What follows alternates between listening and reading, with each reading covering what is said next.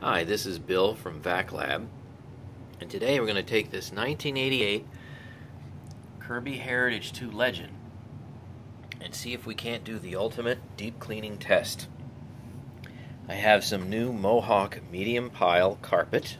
It's brand new, and it's a flow-through type of carpet, no rubber backing. And I've got some concrete flooring underneath, and I've got some flour. I'm going to take some flour and put it on the floor underneath the carpet and see if this old vacuum cleaner can actually pick up not only dirt that is on the carpet, but dirt that is under the carpet.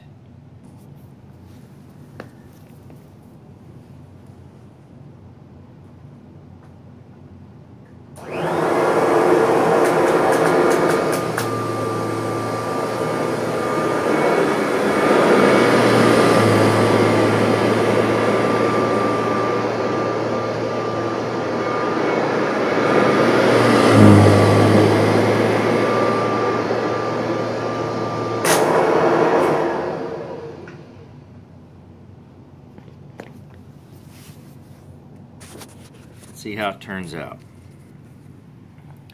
Oh, look at that. Probably 95% of the flour has been completely sucked through the carpet backing.